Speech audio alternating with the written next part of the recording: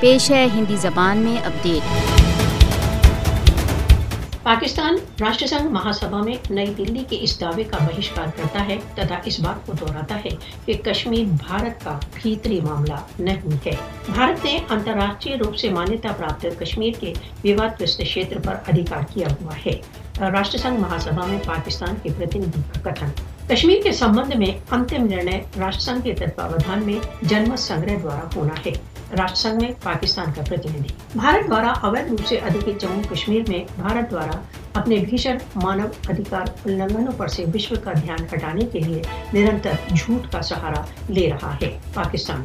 कश्मीर भारत का भीतरी मामला नहीं है, वरन राष्ट्र संघ सुरक्षा परिषद की कार्यसूची पर एक विवाद है। जम्मू तथा कश्मीर में नियुक्त राष्ट्र संघ सैन्य पर्यवेक्षक, इस बात का एक और प्रमाण है कि कश्मीर एक विवाद है। भारत राष्ट्रीय सुरक्षा परिषद की कार्यसूची से कश्मीर को नहीं हटा सकता, जब तक विवाद का कश्मीरी जनता की इच्छाओं के अनुसार समाधान नहीं हो जाता। जम्मू कश्मीर के संदर्भ में राष्ट्र सुरक्षा परिषद में बैठकों का आयोजन भारत के इन दावों को नकारता है कि कश्मीर भारत का भीतरी मामला है। भारत राष्ट्र प्रस्तावों के अनुसार कश्मीरियों के अपने भविष्य के विषय में निर्णय के अधिकारों की उपेक्षा कर रहा है।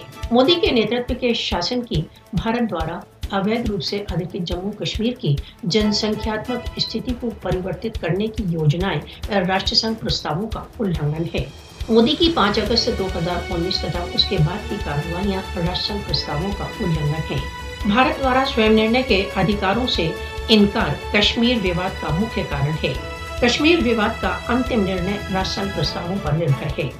राष्ट्र के प्रस्तावों में कश्मीर विवाद के समाधान के लिए, राष्ट्र संघ के तत्वावधान में जनमत संग्रह का प्रावधान है। विश्व के मौन ने भारत को दक्षिण एशिया में अपने राज्य विस्तार की कार्रवाइयों के लिए दिलेर कर दिया है। पाकिस्तान अंतर्राष्ट्रीय समुदाय से भारत द्वारा अवैध रूप से अधिकृत जम्मू कश्मीर में होने वाले अपराधों के लिए भारत को उत्तरदायी ठहराने का आग्रह करता है।